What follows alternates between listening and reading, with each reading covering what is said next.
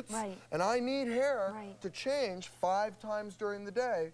And you know, when you spray curl, Wow, look when you Kate. spray curl and wave like this, come here, like that, when you spray curl and wave like this, and after it dries Mm-hmm. 15 seconds later, that you can mm. run your hands through it and get more volume and body rather than flake and dryness. Right. Right. And hairspray, 90% of the time, is what removes